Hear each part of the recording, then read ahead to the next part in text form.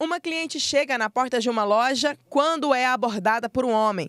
Ele dá uma gravata no pescoço da senhora e leva o celular dela. Todo dia toda hora. Tem dias de ter três, quatro assaltos ao dia aqui né, no centro. Não está tendo policiamento, é, não está tendo nada. A gente está assim, não sei como, é só Deus mesmo para nos guardar, porque tá difícil aqui no centro. Para a gente comerciante, eu acho que não tem nenhum comerciante que não foi assaltado aqui.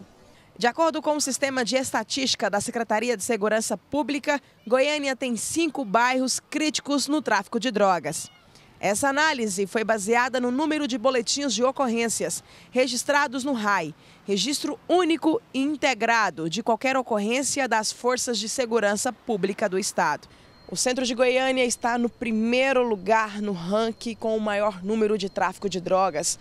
Nos últimos cinco anos, foram registrados mais de 220 casos envolvendo tráfico de drogas na região. Sai um ranking do que o centro de Goiânia é a região com maior tráfico de drogas. O senhor concorda com isso? Concordo.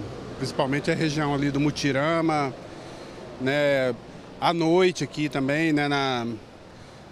Eu falo a Feira do Doce aqui, né, é, concordo. Eu fui assaltada por um traficante.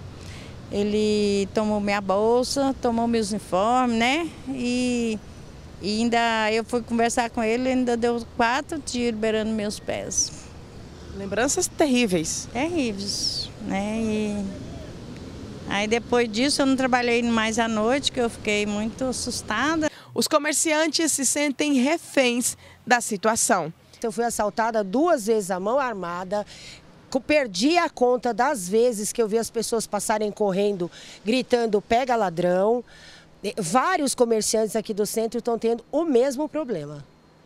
E como é que funciona aqui o tráfico de drogas? À noite, durante o dia? Como é que fica essa situação? Seis horas, toque de recolher. Temos que baixar a porta e ir embora para casa. Caso contrário, é super complicado. Muito drogado, muito noiado.